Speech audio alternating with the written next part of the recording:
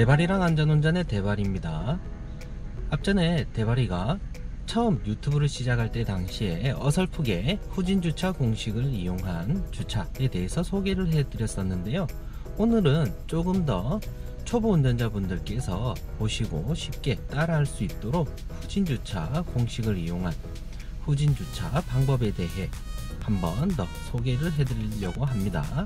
공식 그대로 주차를 한번 해보도록 할 텐데요. 운전자 시점에서 운전자가 어디 위치에 어깨를 맞추고 어깨를 맞춘 모서리가 거울 속 어디에 나와 주셨을 때에 핸들을 감고 푸는지에 대해 보다 쉽게 설명드려 보도록 하겠습니다. 항상 주차하실 때에는 이런 식으로 브레이크 페달만 사용하셔도 주차하시는 시간이 그렇게 크게 소요되지 않는다는 점 강조드리겠습니다. 주차칸의 첫 번째 세로선과 어깨를 일치시켜 주시는 거예요. 주차칸의 반대 방향으로 핸들을 모두 감아서 전진하시는데 거울 속에 주차칸의 첫 번째 세로선, 즉 어깨와 맞췄던 모서리가 보이면 정지하시는 거예요.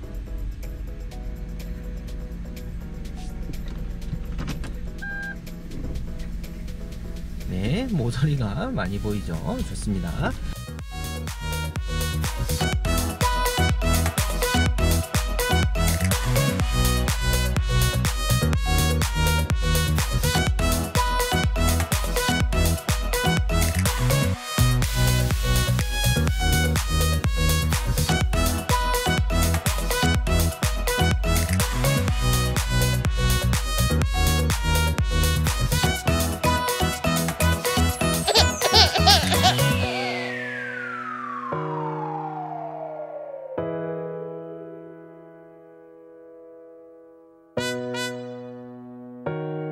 주착한 방향으로 핸들을 모두 감아서 천천히 후진 후진 후진 후진 후진.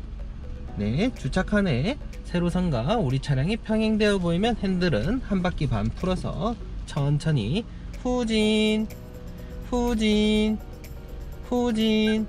이렇게 하면 후진 주차 완성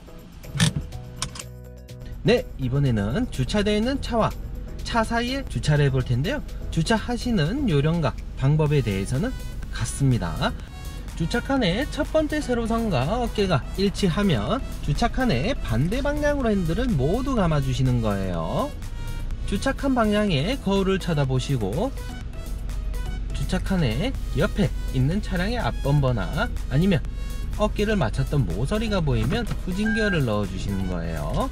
그리고 나서 핸들은 주착한 방향으로 모두 감아 주십니다.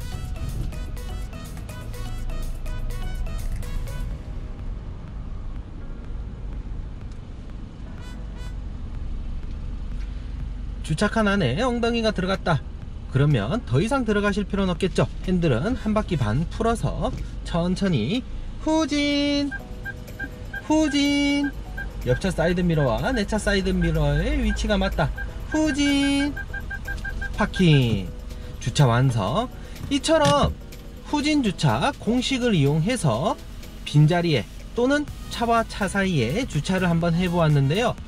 보시는 것처럼 브레이크 페달만 뗐다 밟았다 해서 주차를 하신다고 하면 큰 어려움 없이 신속하게 주차를 하실 수가 있습니다.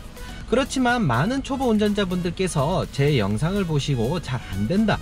물론 잘 안되는 부분들이 있을 수 있어요. 운전자 시각에 정확하게 거울을 설정해 놨는지 또는 주차칸이 상황마다 형편마다 조금씩 차이가 있기 때문에 보여지는 관점이 달라질 수가 있습니다.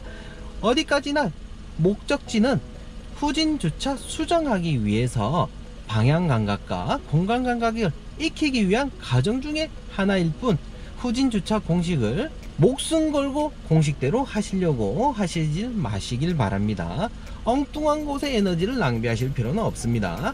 이상 대발이랑 안전운전의 대발이었습니다.